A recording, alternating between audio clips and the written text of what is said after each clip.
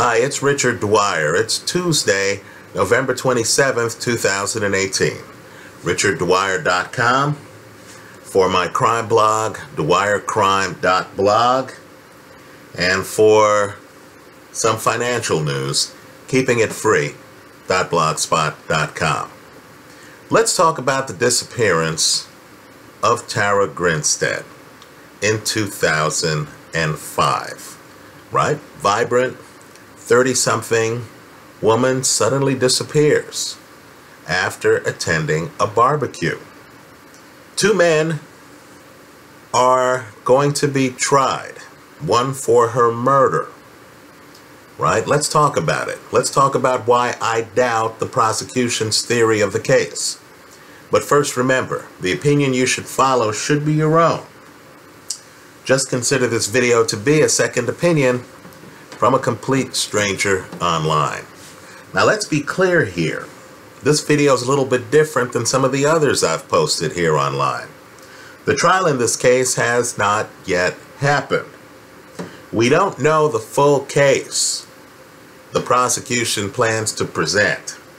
The judge has issued a gag order in the case. So things are shrouded in secrecy.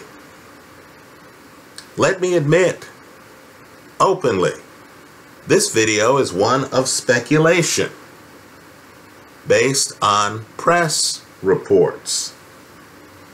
Now, according to some court documents, at least one of these men confessed to friends years ago about his involvement in the crime. Right? It's unclear whether either defendant is going to cop to making a confession. One of the points of this video, one of the goals is to emphasize that unless the police have very strong corroborating evidence that supports the confession, in other words, unless they can show us the body, unless they have physical evidence to show us the manner of death, unless they have a coherent narrative that fits the physical evidence that can show us how Tara Grinstead was murdered, then I'm a skeptic on the prosecution's case. The case looks very shaky to me right? The prosecution, simply put, is going to have to produce surprising, previously undisclosed evidence that knocks my socks off for me to even start the journey of considering whether they've proven their case beyond a reasonable doubt. Let me also open this up to the public. Let's make this a public forum. YouTube gives us a great comment section right? If you have any inside information, if you have any additional facts that you want to share with YouTube Nation, then I hope you do so in the comment section of this video. Let me say, I often get emails from people who have theories of the case, right, for the other videos I've done, or additional facts that they want to share privately with me. I would actually prefer that you share those facts with the public. Because understand, all of these cases have a certain amount of folklore. Some of the information that you think is factual is actually speculation. It's someone's theory. It doesn't actually reflect the facts of the case. Sunlight is the best disinfectant. It's when you bring your beliefs out in public that people can scrutinize them and can separate truth from fiction. So if you have additional information, especially in a case like this, where there's a lot of secrecy, I hope you share that information with all of us in the comment section of this video, and I encourage everyone watching the video to read the comment section of this video and the others I've posted online. Now, let me just say, I'm a skeptic of the prosecution's case. According to the warrant in the case, on October the 23rd, 2005, Ryan Duke breaks into Tara Grinstead's home. Right? The home is a little bit secluded.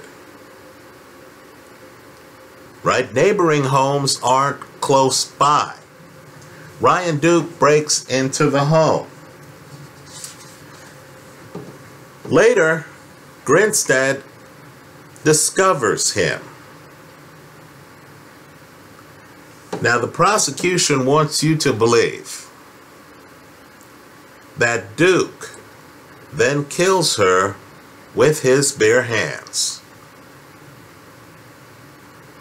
Right? Presumably by strangulation. But understand, they don't believe he has a knife and he stabs her. They don't believe he has a gun and he shoots her. No, the means to kill her are his hands. He then takes the body outside. He leaves her cell phone in the house charging right by the wall outlet. Think about it. The cell phone's left charging. He somehow takes her body outside and disposes of it. Now, those are the facts put forth in the warrant in very vague and ambiguous terms. I believe the theory has problems, huge problems. Five days after Tara goes missing, after the cops have been through her house. Right? Friends report her missing. The cops go to the house. They go through the house.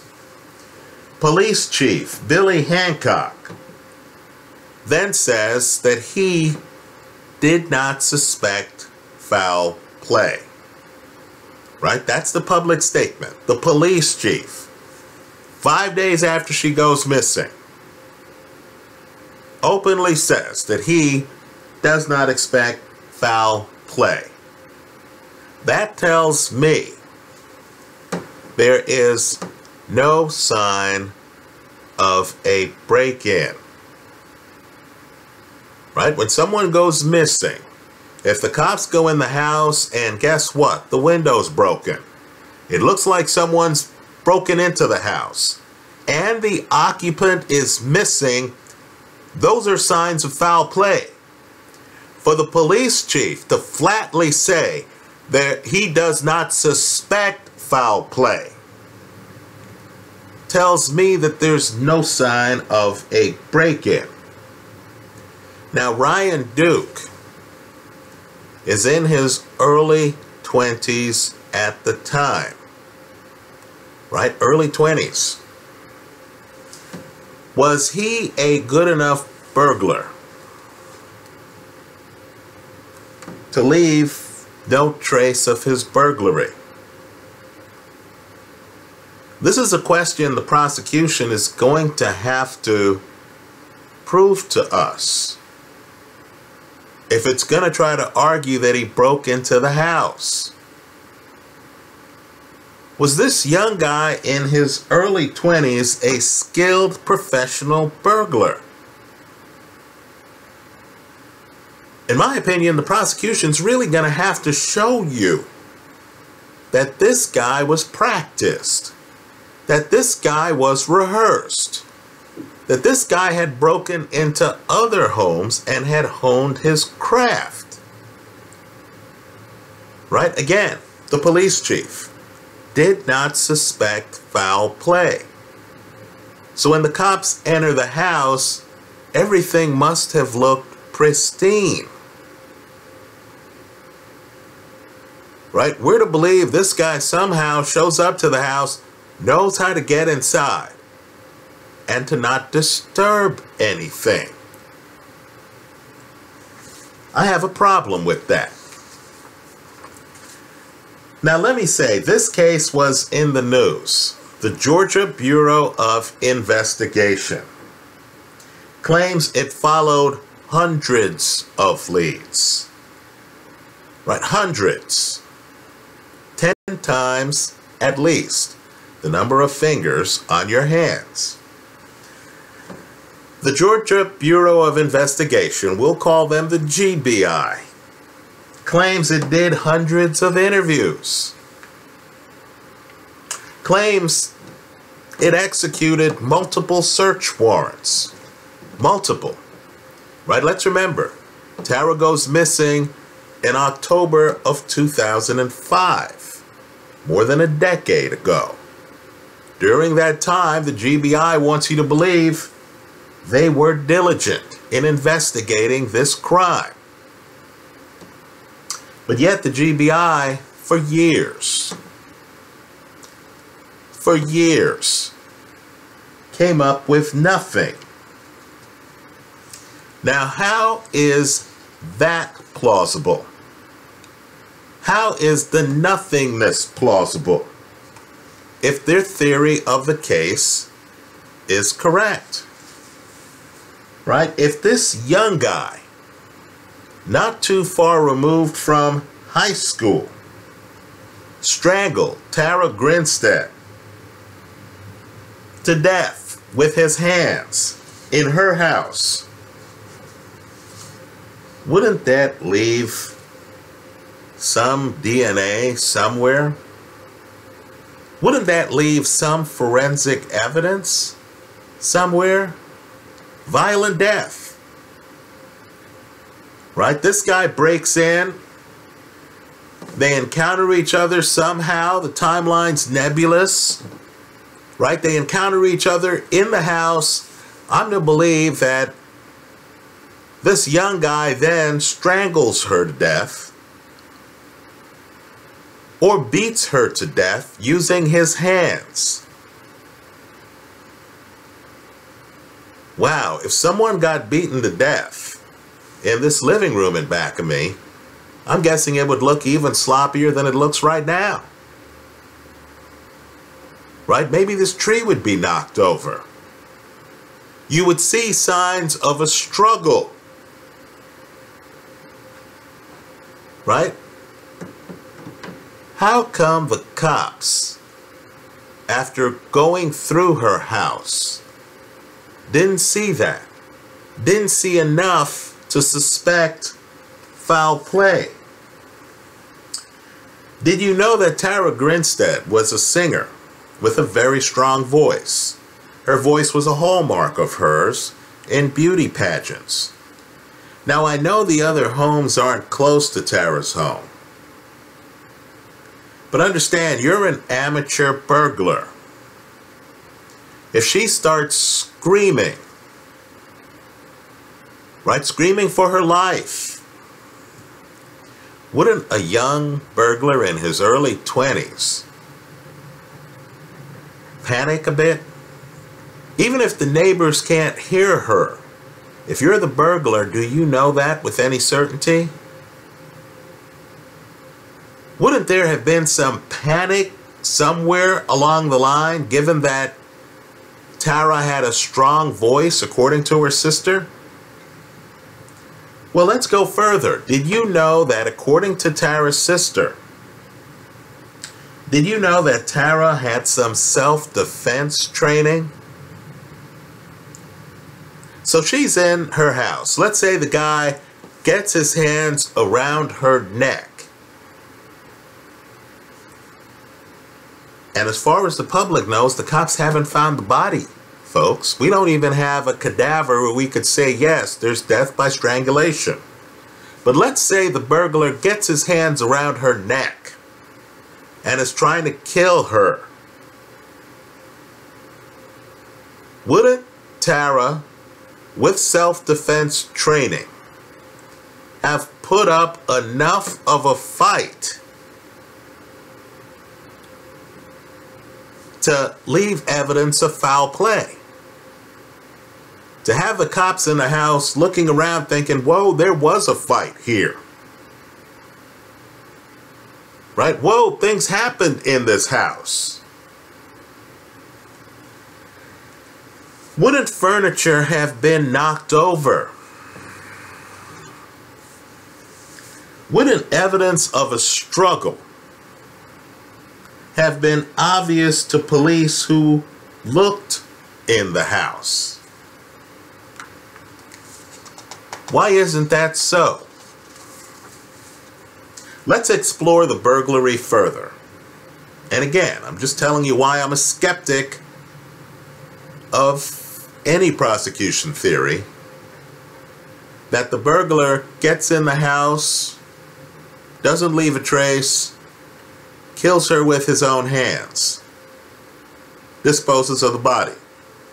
Well, let's explore this burglary further. Tara's 30 at the time young person, image conscious, drove a flashy car. I used to have one of these, a Mitsubishi 3000 GT. Right, flashy car. Hers was white.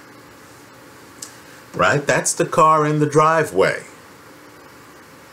when she goes missing. Now, the burglar, who I presume is there looking for valuables, right? Isn't that why you do a burglary? Don't you break into the house looking for stuff you can take and pawn or money you can grab? Well, understand the burglar doesn't take the car. Right? Doesn't take the car. Tara's car keys and purse are missing from the scene. Now, if he encounters her in the house, I'm assuming there'd be the keys someplace, right? The burglar doesn't take the car. Now, maybe he panicked.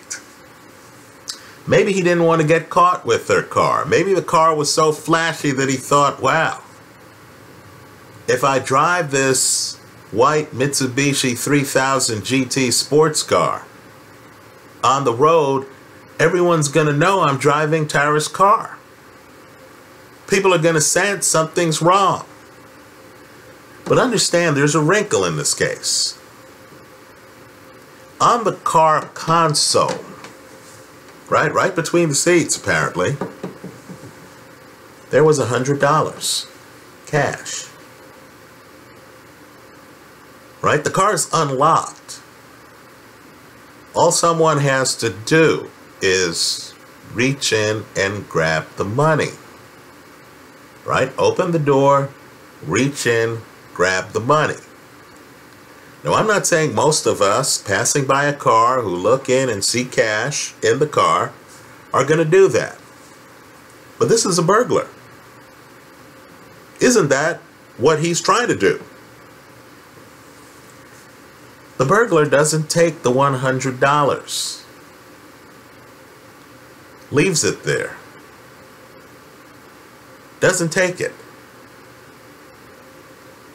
I find that fishy. Don't you? You're going to go through the trouble of breaking into a house. Right? You're going to go to the trouble of killing the person when they show up at home. right? You're going to go to the trouble of taking her purse, taking her keys, and then you're not going to take her car. Worse yet, you're not going to take the $100 that's right there on the console in the car. This prosecution burglary theory sounds a little bit far-fetched to me. Let's talk about the car a little bit more. The car is found unlocked in the driveway. Right? Unlocked. Now, Tara was five foot three inches tall.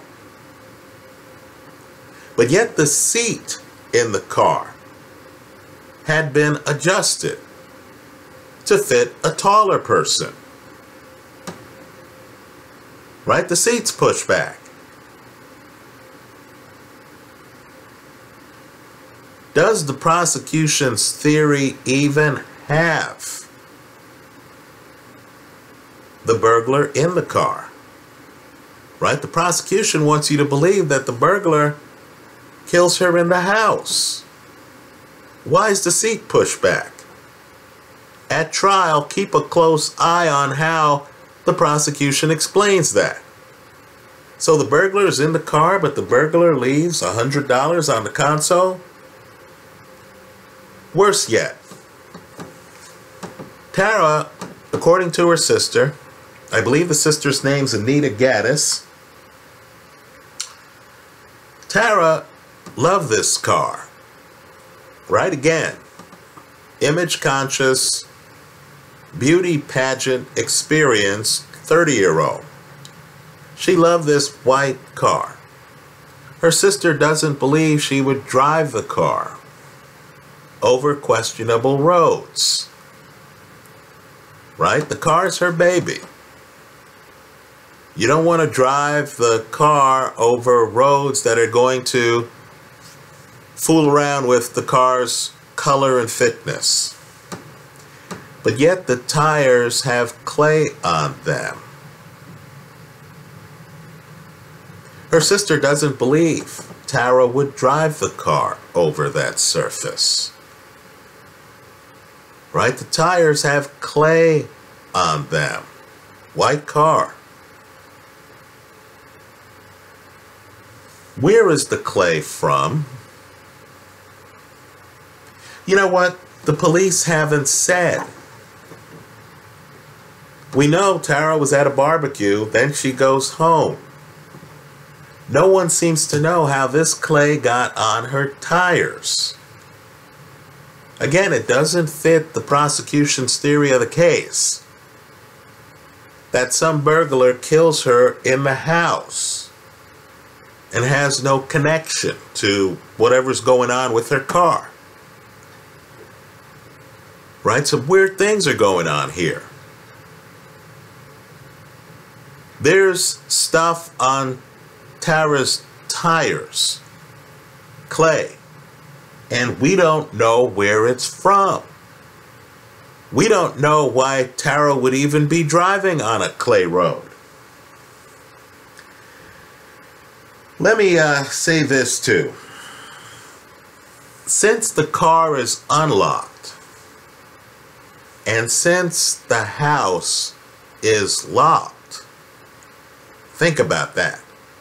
When the cops show up, the house is locked. Let me ask a question here. How do we know that Tara, whose body's not on the property, even makes it into the house? Right? The prosecution has some burglary in the house, murder in the house narrative. Why is the house locked? if Tara was killed in the house? Why would the killer then, in taking her body out of the house, decide to lock the house but not the car? Right? Let's just say the scene to me seems consistent with Tara not making it into the house. Also, think about this her purse and keys are missing from the scene. You know, when I leave home, one of the things I almost always grab are my keys, right? Because brother wants to get back in when he returns, right? So I'll grab my keys and my wallet right? This way I have some cash and I have ID if when I leave home I go somewhere. Right? Isn't the missing purse and keys consistent with Tara herself taking those items? right? They show up to her house. Couple things are missing. The very things that most of us take when we leave home. And somehow I'm supposed to believe no, no, she never left home voluntarily. She got killed in the house and then taken from the home. I'm not I'm not sure if I believe that. Worse yet, as the killer's taking her from the home, he doubles back and says, "You know what? Let me lock the door." Does that sound right to you? How do we know, given that the door's locked to the house, that Tara doesn't pull up in her car, which she leaves in the driveway, and then doesn't jump into another car waiting for her on the street, taking with her her purse and her keys. Maybe she thought she was going to get a drive back home. How do we know there wasn't another driver in that car. Right? Let's continue. Now, her cell phone is found in her house. It's charging in the wall outlet. Now, in this era, someone has to say it, in this era of friends with benefits, of public and private lives, of Ashley Madison websites and the like. In this era where, guess what, some of your neighbors are having affairs.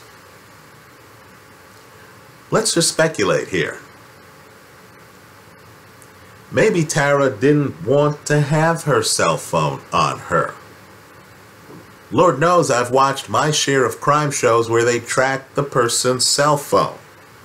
Right? You remember Adnan Syed and the evidence in Serial? Maybe Tara in 2005 thought, you know, I don't want my cell phone with me. I'm going on a trip where I don't want there to be any evidence that I'm going on the trip. Or I'm going on a trip where I don't plan to be answering my phone. This is a private trip. This is a private moment. A private, perhaps, rendezvous involving someone in another car. Maybe the party even extended to her car. Maybe that's how the seat got pushed back. Now, let me say too, the phone in the charger, charging, opens the door to an argument by the defense that Tara's not attacked when she gets home. This isn't a case of burglars in the house and you show up at the house, you close the door and ah, here's the burglar. You're, oh my God, and you're attacked. No, Tara comes home, if you believe she makes it in the house, and she has enough time to then walk over to the charger, take out her cell phone, and plug it in. Right? She's not she's not attacked as soon as she gets home. There's some time gap there. If you believe the prosecution's burglar narrative. Right? So let's talk about the reality here. The reality is that we don't know what happened to Tara after she left the barbecue. Right? Last time she's seen. Right? Apart from getting clay on the tires of her white 3000 GT sports car, who knows what happened next? Who knows if she's even the one driving on the clay road? Right? The phone in the seemingly undisturbed house. The house that led police to not suspect foul play might have been left there by design. Maybe she didn't want to be tracked or called. Who knows? Maybe she just left the phone at the house before she even went to the barbecue. Keep an eye on her phone records during this trial. Keep an eye on the last call she makes. I'm guessing there's a lot of evidence we just don't know about. Let me say, too, the missing person case may have been what she took with her when she hopped into a friend's car in front of her place, leaving her car in the driveway. Right? That's as consistent with any other evidence I've seen. Now, there was a second person who was on trial here, a guy named Bo Dukes. Now, you could imagine if Tara hopped into somebody else's car. Let's say that happened. Let's have an alternative narrative. That's to me as credible as the narrative of Tara getting strangled or beaten to death in her undisturbed house. Let's say Tara instead doesn't make it in the house. Let's say that Tara jumps in a friend's car or Tara makes it into the house, leaves her phone, leaves the house, locks the door, jumps into a friend's car. Right? Because she's not going to jump into a stranger's car, is she? So the person in the other car would have to know her. Now, the second defendant in this case, Bo Dukes, happens to have been a family friend. Tara and her sister knew him. Right? Food for thought. Now, because of the judge's gag order, we simply don't know at this stage how he was involved. Keep a close eye on the testimony as it relates to him. Because understand, the other defendant, the burglar, you're hearing in the news that he and Tara attended the same high school, but the timeline doesn't match up. She's older than him. Right? They attended the schools and didn't overlap. There's no evidence that they socialized with each other right? Most of his high school career, she's not at the school, right? Food for thought. They're trying to have a tie in where they're trying to claim that she came back and taught at a class where he might have been a student. But what I want people to do is to understand if this case is an obsession case, if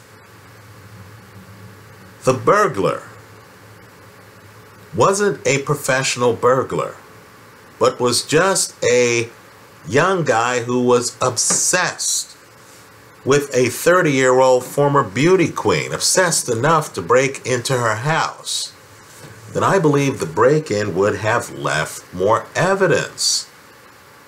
The burglary would have been sloppy. It would have been a first break in by someone obsessed with the occupant of the house. Not an undetected break in by a burglar who had done it before, who had already gone through the learning curve of how to break in a house without leaving any signs of foul play, as appears to have been the case here. Finally, let's talk about the evidence the police are relying on. Now, this case was all over the news, as you can imagine. Tara Grinstead had friends. Former beauty queen, right? Goes missing. Friends, co-workers, they call the police within days saying, hey, we haven't seen Tara. Right? They're people who loved and cared about Tara. This case is in the news for years. The GBI is claiming to have interviewed hundreds of people. But yet, the break in the case comes from a tip that the police don't receive the first year, the second year, the third year. When does the case become a cold case? The fourth year, the fifth year, the sixth year. The tip comes more than a decade later. Think about it. There's a tip that the police receive more than a decade later. Now, we don't know much about this tip. During the trial, you need to focus on it because the prosecution's case is only as good as the credibility of the tipster. Right? Let's just be blunt here. The evidence in the case is stale. It's a cold case when the police get a tip. So we know the police then, in following up on the tip, the stale tip, the tip that the tipster didn't make when the case was on the front page of the paper. Right? We know that after getting this tip, the police then went looking for her body. I'm just telling you, if the cops did not find the body, if the tip did not pan out on that key issue, then I just don't see how the prosecution proves their case. Unless they have DNA evidence. Right? Unless they have some evidence that can place the burglar at the scene of the alleged burglary. I don't even know how they do that. Right? So the tip to me is stale. It's several years too late. If it's also unreliable, in other words, if the tip said, hey, her body's going to be found on this farm, then the cops go to the farm, search the farm, and don't find the body. That's going to be an awfully bad sign for the prosecution, isn't it? Let me also say this too. You know, I was a young man once, as hard as that is to believe. And my goodness, did my friends and me talk a lot of smack. Talk about a lot of things that looking back we probably didn't do. Right? Every guy wants you to believe that they're a playboy. Every young guy wants you to believe that they're a risk taker. Now, in some court papers, they're saying that one, if not both, of these defendants admitted some culpability with the disappearance, right, of this former beauty queen, gorgeous young single woman, right? I'm just telling you that you should view young guy confessions where they're talking about crimes to their friends, and the crime involves some glamorous looking, gorgeous, young, available woman. Right? I'm just telling you, you should view any such confession, we'll put it in quotes, with suspicion.